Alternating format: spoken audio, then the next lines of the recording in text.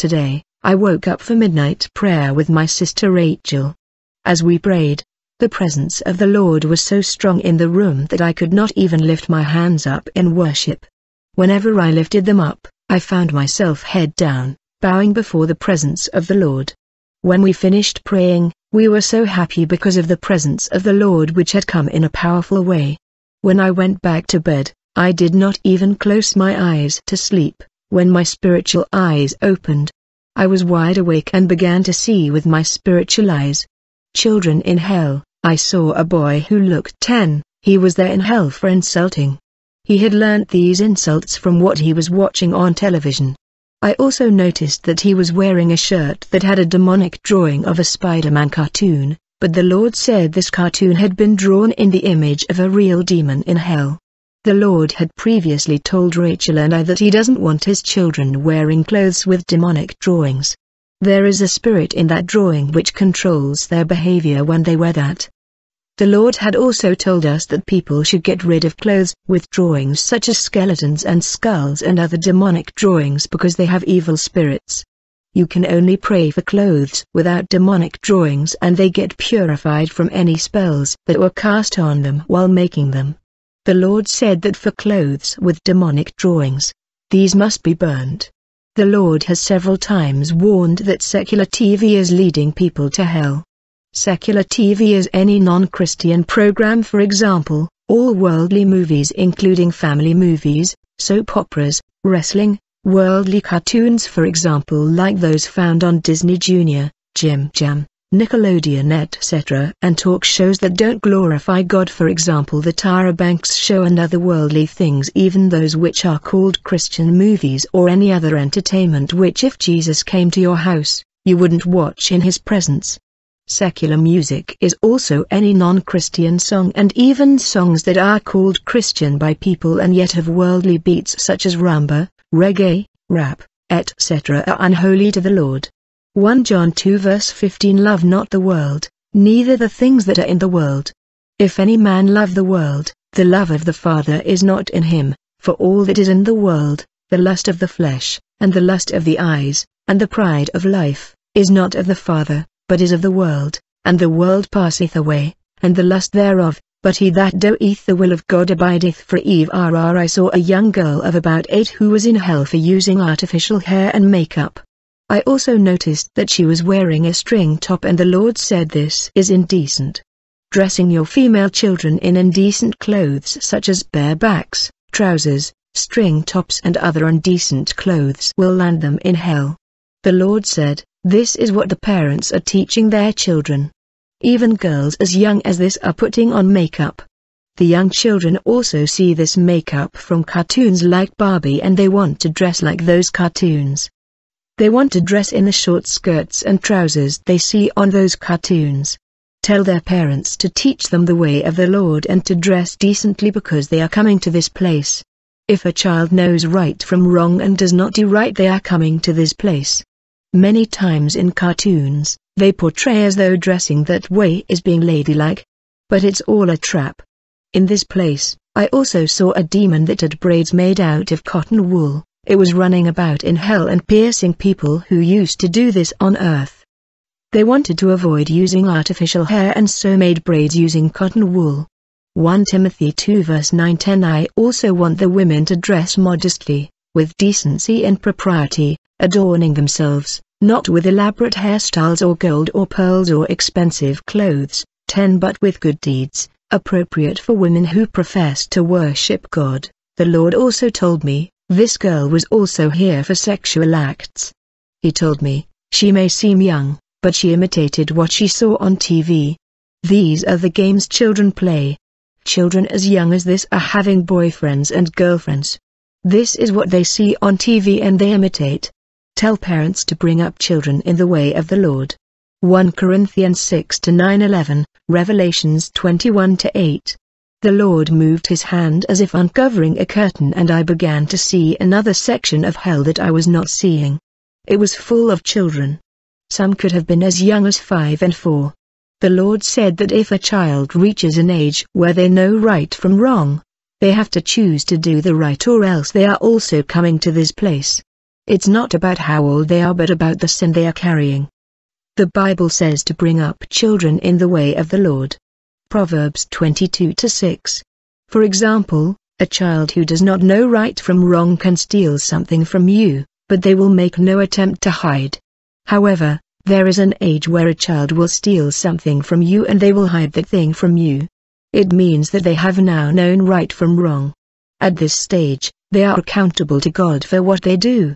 People don't see it like that and they think that just because someone four or five, they automatically go to heaven. Children mature differently and if a four-year-old knows that stealing is bad and yet they steal, the child is answerable before God. Human standards are not God's standards. It's about the sin on them and not the age. That's why the Bible emphasizes on bringing up children in the way of the Lord. In this section of hell the screams were deafening extremely horrific. Screaming that sounded like it can only be produced by extremely wounded animals battling for their escape from a trap. Now imagine that ten times and another ten times and another ten times more intense and desperate. I did not know that human vocals are capable of producing such a sound, especially not that of children. They sounded like horses. There is no human way possible of explaining this. Their shouts of desperation echoed to every inch of hell. They were, all stretching out their burnt and bony hands towards the Lord. No one was too proud to ask for help but they all, with one accord as if a signal had been made for them to do so instantly uniformly stretched out their hands to him. Looking at their faces made my heart leap in great and intense fear. They were looking horrible. For those who still had eyes, their eyes were popped out as if in shock of the pain they were experiencing and they made piercing screams. They were human and burnt and suffering beyond what can be explained and they looked terrifying as if they were not human but some type of deformed ugly creature. I saw giant TV screens on the walls and these had the cartoons they used to watch on Earth playing. However, these screens had huge bars around them and the cartoons that were playing were no longer entertaining the children, but mocking them for being in hell. Pieces of skin that had been burnt black were hanging from the bars protecting the TVS like rags and the walls and TV screens looked splattered with human fat. Many of these worldly cartoons are drawn in the images of demons.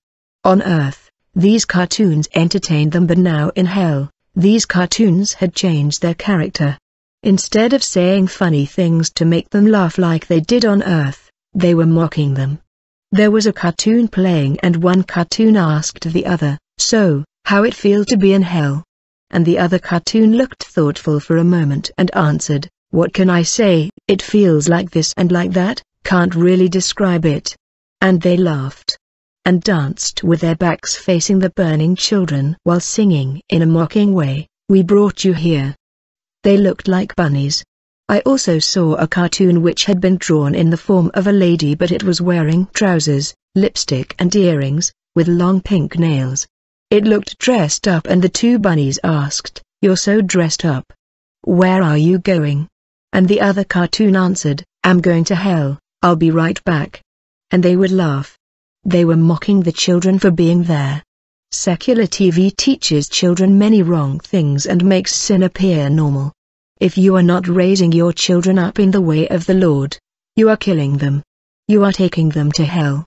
Jesus said, Why are the parents also buying their children smartphones when they are young and not monitoring what they are doing on computers? Don't they know they are exposing them to obscene material like pornography and the world of evil out there? Do they think buying them those phones is an act of love? Tell them to bring up children in my way so that they will never depart from it. He also said, Many parents who claim they believe in holiness allow their children to go to birthday parties of their friends and classmates. Don't they know that at such parties they are going to make them dance to secular music? The Lord also said, There will no excuse taken for making your female children wear trousers. Not even in the name of sports gear. Is that sports gear or hell gear? Tell them to repent. Even when you buy your children school uniforms or sports skirts, the Lord said that they should be decent. He said that he will not accept any excuse for indecent dressing. Not even in the name of a school uniform. There are many traps to this place and the only way to escape is to cling to Jesus here on earth. The Lord also showed me video games, laptop games and phone games such as Temple Run, Tomb Raider, Mortal Kombat, Need for Speed, Zuma, Prince of Persia and other such games and told me that they are totally demonic, a trap to hell, and bait for your soul. These have demonic spirits, dirty language, some are drawn in the image of real demons and they are addictive. You can spend hours playing these games but you can't spend 30 minutes in prayer. They hinder your relationship with God. Jesus said, tell them to honor me.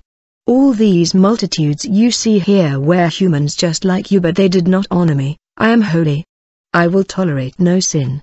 I say again that I will tolerate no sin. I will make no exception. Not even for you who am showing this. If you do not live holy, you are coming to join them in this place. Even the parent who does not raise up their child in my way, I will require an account from them. Mothers, fathers, grandparents, uncles, aunties, the rich, the poor and children who know right from wrong, they are all coming to this place. The only one I will allow into my kingdom is he who obeys my word not just a church-goer but someone who listens to my voice of correction and changes their ways. Every word the Lord said carried a sense of urgency. He was really serious and was shedding giant drops of tears the whole time for humanity that is lost. Many times, we make jokes about how it's okay if we go to hell but I saw the seriousness of this place. All such jokes are far forgotten and everyone wants out of this place.